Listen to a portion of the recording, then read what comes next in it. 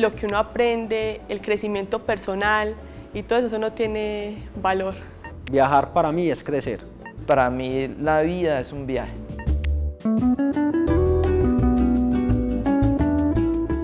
Todo surgió porque yo hace aproximadamente como dos años y medio o tres empecé en el mundo de la investigación de acá en el ITM. La iniciativa para salir del país con la universidad se originó en la participación de un evento académico en Perú, un congreso de estudiantes de estadística y presentamos un trabajo en el cual fue aceptado por el Congreso y nos invitaron a participar de él. El profesor Fabián Cortés eh, se contactó conmigo y me dijo que existía la posibilidad de hacer una pasantía de investigación en Chile y que el tema era cáncer, entonces a mí me interesó mucho y yo acepté.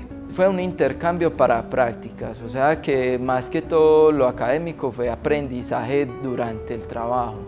Fue con la empresa de Tata, eh, es una empresa especializada en software y presta este servicio en forma de consultoría a diferentes empresas de Europa.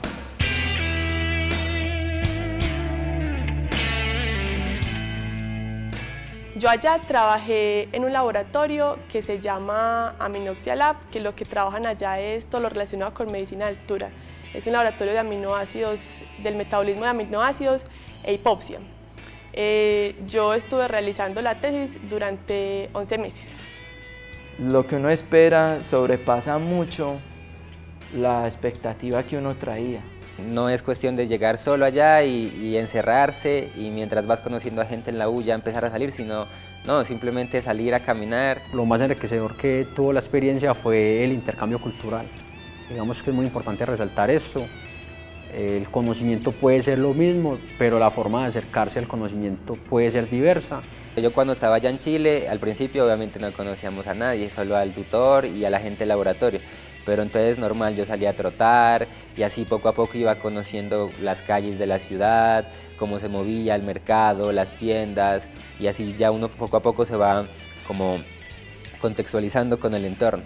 Cuando sales a otros espacios empiezas a extrañar cosas que uno pensaría pues que, que nunca extrañaría. Una arepa, por ejemplo.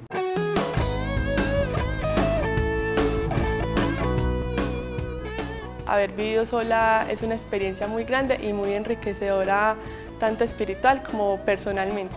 Y eso le enseña a uno a de pronto hacer más, a aceptar más al otro. Y uno quiere como más responsabilidades eh, sobre todo, pues la comida, el orden, la administración del dinero.